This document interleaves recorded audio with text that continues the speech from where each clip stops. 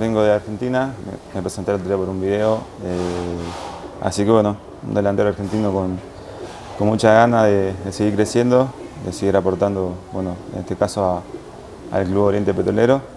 Así que nada, brindarme con todo para, para cumplir objetivos que, que, todos los jugadores, hinchas y, dirigentes quieren. Yo a cada club que voy eh, voy a pelear cosas importantes, no voy a, especular a ver qué pasa, así que nada, pelearemos para, para entrar a la Sudamericana y bueno, obviamente para, para pelear el, campeonato también.